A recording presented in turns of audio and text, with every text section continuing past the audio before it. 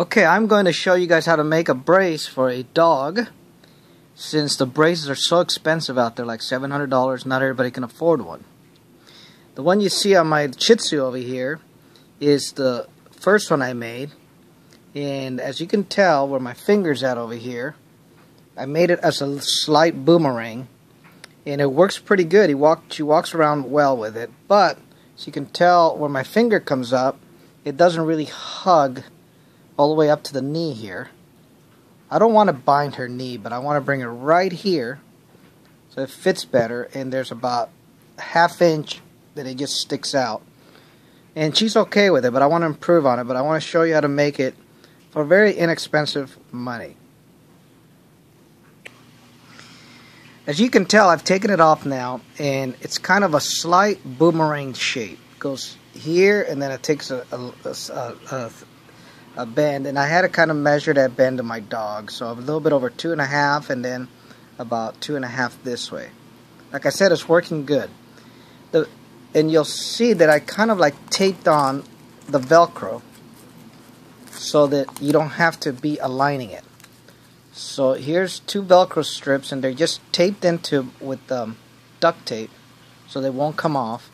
And it opens up like a hot dog bun.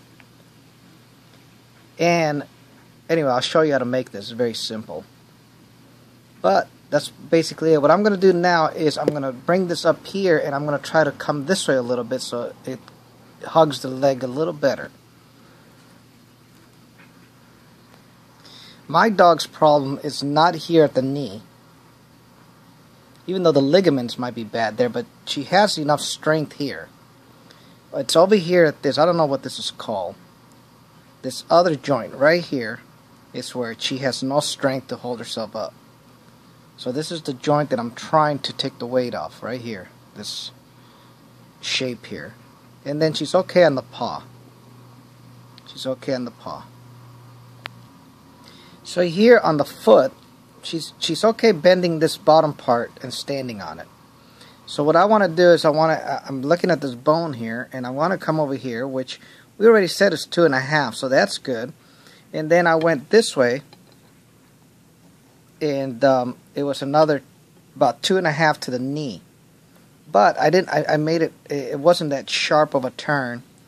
And I don't really want to make it really sharp like that because then it'll be bound, but you can't really walk. So I'm gonna make a two and a half and then I'm gonna make a slight little turn about about one and a half this way this time and see how that works now what I got here is a Tupperware lid that I didn't use anymore. And as you can tell, here's the boomerang shape I cut last time. And then I cut it in two pieces because you need one on each side. It's very flimsy. So I could use one a little bit thicker than this. And it might be, make it a little sturdier. But what I'm going to do this time is um, I'm going to paint the pattern on here. And then I'm going to cut it and then I'll trim it and, and, and get make it perfectly once I got it off of here. So I've basically um, made my um, pattern here. I'm going to go here, here, and then I'm going to take it in a little bit more. And this is the top. This is the top. And this is the bottom. So I can actually probably straighten this out right here like this.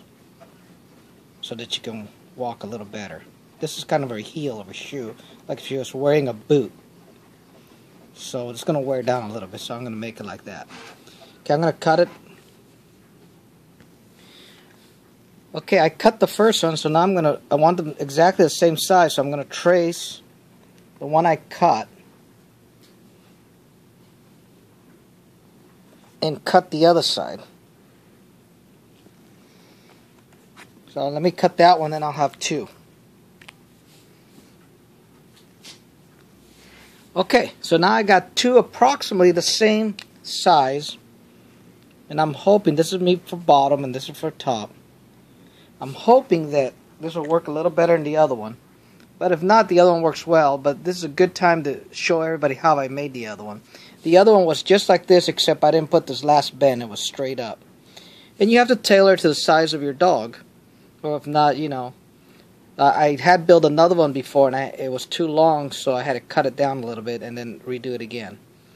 But you'll see what I'll do with this in a second.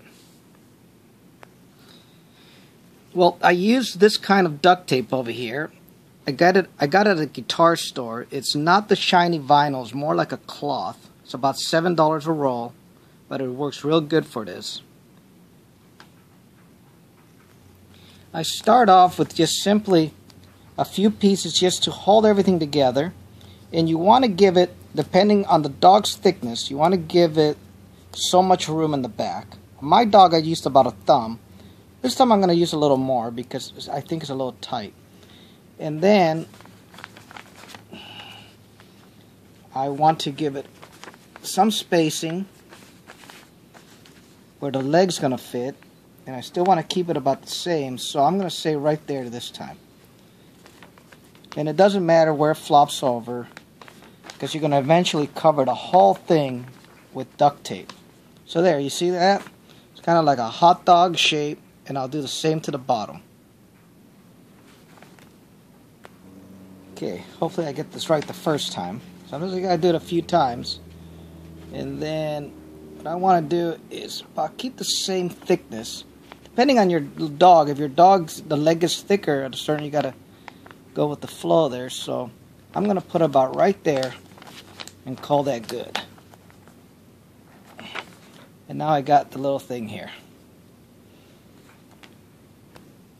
As you can tell, I had the two strips back here, but then I came this way because I want to make sure this part's not sticky to get on her fur. And I'll do this a few more times too to make it more sturdy. But I'm going to put another one here. And I'm eventually going to cover the whole thing from both sides with tape and, and then close it. Okay, so here you have it. Now it's all covered up with just duct tape. And you do want to get these edges very well with duct tape. Maybe even do two, two or three times on the edges so they don't wedge and cut into in, into the dog, muscle and skin. And in fact, I would cut off those corners because that can be pretty uncomfortable. So I would take those corners out just for comfort. Cookie, you're looking thinner. That's what I would do. No, Cookie, you can't walk. So this will probably work just fine, but I like to do a few little extras. Anyway, you get the idea because the light uh, is working against me. Sunshine so now. Well, here it is. What I'm gonna do is I got some of this like sticky stuff you buy at Home Depot. I just have some extra one. Anything like this, I'm gonna put in the inside just to get my dog a little comfort. And um, and then I'm gonna retape it all over again. And um, you'll see how good it works. Here's two of the pieces. I did these because the cut worked together and now I'll do the other side. As you can tell right there.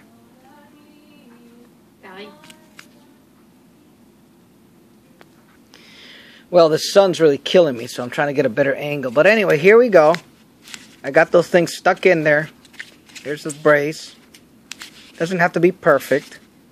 Anyway. In fact, I think this is too thick. I wish I just had half of this installation. Well, I'm going to tape it all up and show you what it looks like. So I happen to have this Comcast Velcro, I mean Xfinity, that I don't use.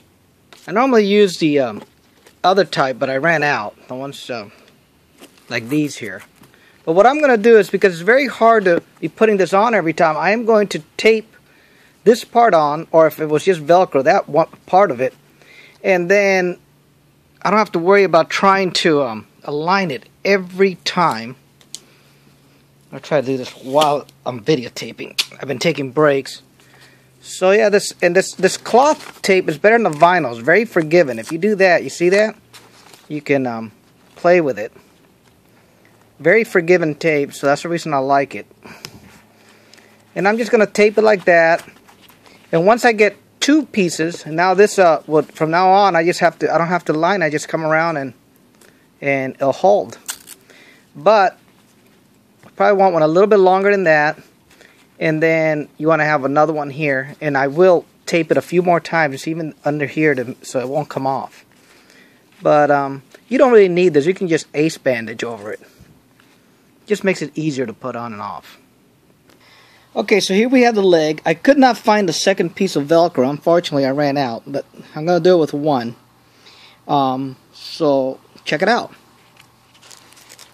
Here's the pad. I'm going to come to her poor little leg over here. I'm going to find that joint, and that's where this is going to go. Just place it there like a hot dog. She's a little tense right now. She gets like this with every new brace. Okay, so then this guy. It's okay, baby. You know. See how difficult it is? Imagine if you were trying to line up both sides. Come on, honey, let go. She's being a little difficult. Let me turn the camera this way. But normally, it's not this hard. Normally, she cooperates a whole lot. So you want to get it in there well. You Come on, baby. Come on, honey. So you want to, um, yeah, there. She extended it now. So you want to get this on there snug at first. Wow, that is short. And then I'm going to get bandages and bandage up the rest over here. Because I don't have the Velcro. It would be nice if I had the Velcro strip right there. So, this time See how it's fitting a lot tighter now? That's good. And you really can't tighten it to kill her blood because the brace keeps you from tightening it too tight to stop the blood pressure. So you can go to town and get that pretty tight there. And um, but normally the Velcro, the top Velcro one will hold this down like that. And now I can come come back and retighten this one up. Yeah, she doesn't like it, but that's the only way she can walk. If not, she'll fall over. Now what I do do is cover this up, even with a band-aid so it doesn't stick to her hair. Even if you got Velcro, you got to put a band-aid over it. And not nothing sticky, that kind of stuff that just sticks to itself. I'm going to have to get some new one. I'm going to dress her up, tighten everything down, so it stays really good and then we'll see her walk. Okay, as you can tell, I had to use some of uh, the human one, I mean the thicker one over here because I ran out of supplies. But it's there. It doesn't look that attractive, but doesn't cost $700 or $200 for a cheaper model. And yeah, I, am really upset at these dog loving people that on the web and on commercials and all that but when it comes to poor dog and people that can't afford a $700, um, they have nothing for you. So be careful who you donate. These commercials they put on TV are so sad. But this people, look for places that actually, when somebody says we don't have the money, they said, don't worry about it, you know, we'll help you out. And they really love the animals and dogs. They don't want to see them suffering. But the majority I found, sadly, they want their $700 or too bad, your dog doesn't walk. So think about this stuff. And this is the reason I made the video. Because I could not find anybody that would donate anything. And there she goes. Well, I'll have her walk a little bit. Hold on. Okay, well, there she is standing on it. She couldn't stand or anything if that brace was in there. And that one's not as thick as the other one I made. So uh, the other one is a lot sturdier. But there she goes. She can actually walk a little bit and get in her bed and actually go off curves Cookie. Come here, Cookie. Let me get this on her. Come on. Come here. Come here. Come here. Let me go get a treat and get her to come over here. Come here, baby. Come on. Come on, Cookie. Come on. Come here. I gotta get a treat.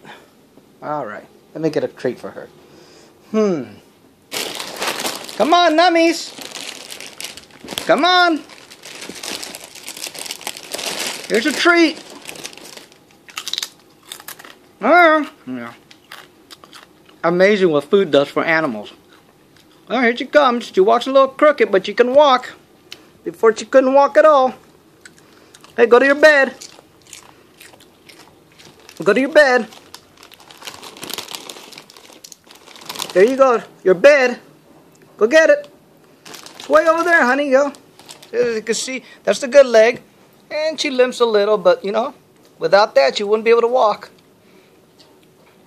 And there's your um, homemade brace that helps them out. Good luck if you make one. They're easy to make, cheap. Beats a $700 brace. Well, I won't say beats it, but does about the same and doesn't cost that much. Okay. Thank you for your attention and good luck.